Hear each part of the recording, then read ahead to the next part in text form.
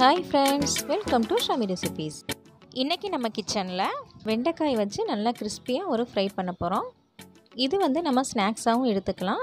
அப்புறம் சாம்பார் சாதம் ரச சாதம் தயிர் சாதம் இது எல்லாத்துக்கும் ஷைடிஷாக வச்சுக்கிட்டாலும் ரொம்ப நல்லாயிருக்கும்.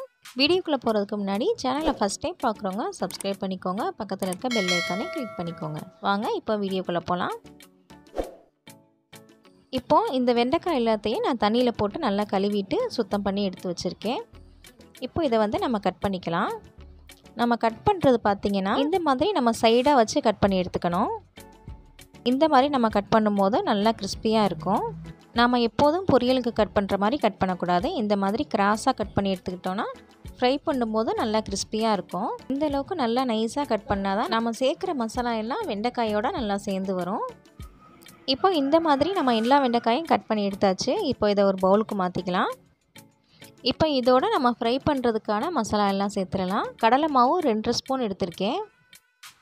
இதோட அரிசி மாவு ஒன்றரை ஸ்பூன் காரத்துக்காக மிளகாய்த்தூள் ஒரு ஸ்பூன் மஞ்சத்தூள் கொஞ்சமாக சேர்த்துக்கலாம். லைட்டாக கலர் வர்றதுக்காக மஞ்சத்தூள் கொஞ்சமாக சேர்த்துக்கலாம். மிளகுத்தூள் அரை ஸ்பூன் இதுக்கு தேவையான அளவு சால்ட்டு சேர்த்துக்கலாம். இதோட கரம் மசாலா ஒரு ஸ்பூன் இது எல்லாத்தையும் சேர்த்துட்டு நல்லா அதை வந்து மிக்ஸ் பண்ணி எடுத்துக்கணும்.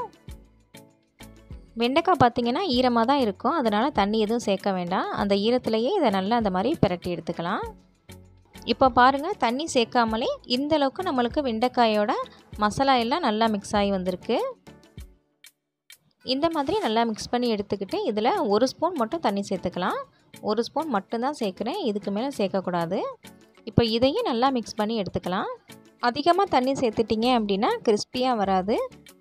சாஃப்டாக வந்துடும். மெது பக்கோடா மாதிரி சாஃப்டாக ஆயிரும்.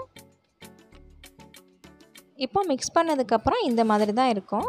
இந்த மாதிரி இருந்தால் தான் நம்மளுக்கு கிறிஸ்பியாக வரும். இப்போ நம்ம ஃப்ரை பண்ணி எடுத்துக்கலாம். இப்போ ஆயில் நல்லா ஹீட் ஆகிடுச்சு நம்ம வெண்டைக்காய் எடுத்து இந்த மாதிரி நல்லா உதுத்து விட்டுறலாம். நம்ம ஆயிலில் போடும்போது இந்த மாதிரி நல்லா பரவலாக போடணும். ஒரே இடத்துல போட்டிங்கன்னா உதிரியாக நம்மளுக்கு வராது. கட்டி கட்டியாக வந்துடும் கிறிஸ்பியாகவும் ஆகாது. அடுப்பை வந்து லோ ஃப்ளேமில் வச்சுக்கலாம். அப்போ தான் வந்து நம்மளுக்கு கருகாமல் ஃப்ரை ஆகி வரும்.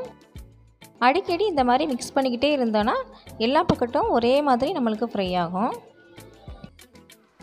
இப்போ பாருங்கள் நல்லா வந்து கோல்டன் கலரில் ஃப்ரை ஆகிடுச்சு இப்போ எடுத்துடலாம். இப்போ கிறிஸ்பியான வெண்டைக்காய் ஃப்ரை சூப்பராக ரெடி ஆகிடுச்சு வெண்டைக்காய் சாப்பிடாத குழந்தைங்களுக்கெல்லாம் அதை செஞ்சு கொடுத்தோன்னா ரொம்ப விரும்பி சாப்பிடுவாங்க.